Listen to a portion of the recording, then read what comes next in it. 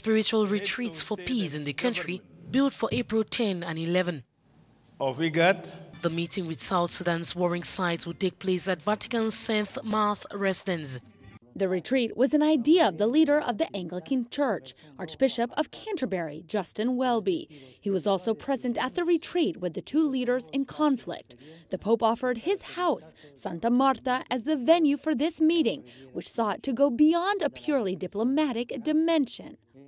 Part of South Sudan's future transitional government and members of the Council of Churches from the country also participated. Without breaking the atmosphere of recollection, Pope Francis took the floor.